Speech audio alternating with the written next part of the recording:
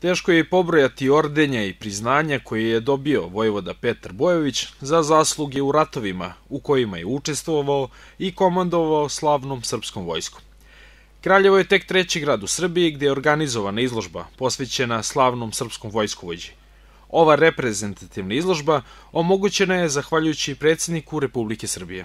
Brigu o njegovim odlikovanjima, o priznanjima, o sitnicama koje na sreću mi sada imamo prilike da vidimo, vodila je porodica Rajić, kojom smo neizmerno zahvalni što je sačuvala ne uspomenu na njega, nego i materijalne dokaze da bi smo mi ne verovali, nego se uverili koji je bilo, bila veličina vojvodska u liku i imenu Petra Bojića.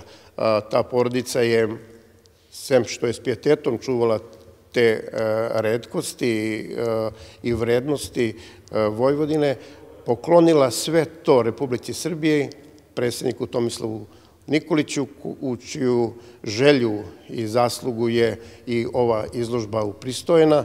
Prvi susret sa ratnim dešavanjima Vojvoda Petar Bojović imao je već kao kadet u Srpsko-Turskom ratu 1876. gde je briljirao.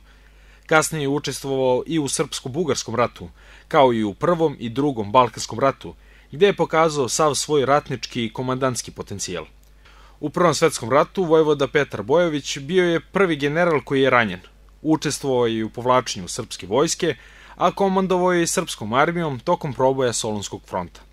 On je kao komandant sada prve armije na Solunskom frontu i u odsudnom jurišu sada već od 26. septembra kao vojvoda, najmlađi vojvoda srpske vojske, predvodi prvu armiju koja će od samog starta krenuti furiozno put Srbije, osloboditi Bitolj, kretati se čak i do 100 km ispred saveznika koji su stalno upozoravali jer nisu mogli da doturaju hranu i oružje, a pritom su i mislili na sebe, jer je na taj način što je grabila napred ostavljala malo neobezbeđenja njihove bokove.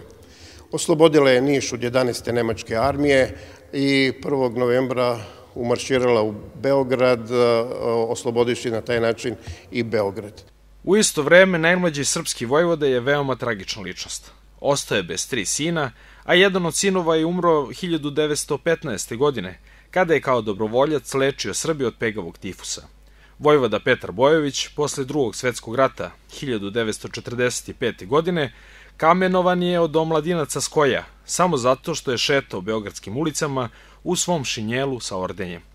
Kraljučani će biti u prilici da do 25. januara u Domu vojske pogledaju izložbu posvećenu Vojvodi Petru Bojoviću.